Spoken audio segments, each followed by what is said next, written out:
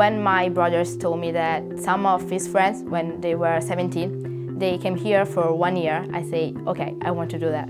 So I was very young, so seven or eight, and I really wanted to go to the US and I want to live here when I'm older. I'm happy because I'm learning how to be independent. It's gonna help, obviously, my English. I'm trying to be the best person I can. They are really friendly to us and they really have a lot of patience to like teach you. I joined volleyball team and I joined cheerleading and some different club. Like I can study very well and then join some different activities.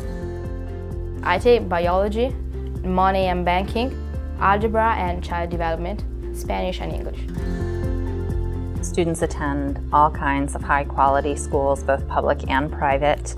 All of the schools that we work with are very invested in cultural exchange as well as globalizing their classrooms. Our students are intrigued and they want to learn more. We had one student last year who actually went on to study in China. We're really starting to focus more on transferable skills across curriculum, but also transferable to life. Reading, writing, communication, problem solving, citizenship, and creativity. And the idea is that creativity shouldn't just be the domain of the arts teachers and problem solving for math. They're cross-cutting, cross-curricular skills. My whole family, they're really comprehensive. They're supportive with me. Anytime I need them, they're always there for me. Most families decide to host because they are really wonderful and open-minded with big hearts. They are interested in cultural exchange and they know what the benefit is for international education. There's my host dad, my host mom, and my little host sister. And I have another change student that lives with us. I never had a sister, so that was very cool. It was a perfect match. Julia is from Italy. I absolutely love Italy. We've been there maybe six times now. And then, of course, my husband being from Germany, Lisa is from Germany. So it worked out really great. My host family really tried to show us the American life. It's amazing. I love it. My son has always wanted to have a big brother, so we specifically wanted to have a boy. It was the best decision we've made. Bryce has jumped right into our life. He came to us because he had a desire to be in a family that had horses. So it was a big win for both of us. We spent like a lot of time together, riding at the barn.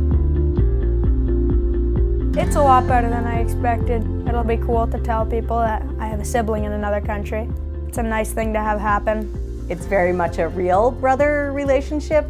Bryce doesn't let him win when they're playing the Xbox. CIEE has a very thorough process in vetting host families. As a mom, that would be very important to me, sending my daughter abroad, and I'm very comfortable with the way that CIEE makes sure that we have safe, compliant, warm, welcoming homes. It's been a great experience for everybody in our family to have Abby with us. She's a good role model, so we try to do everything for her that we would for our own child. My host brother is six years old and my host sister is two years old. At the first week, we go out like every day. They make me feel safe. I can feel it.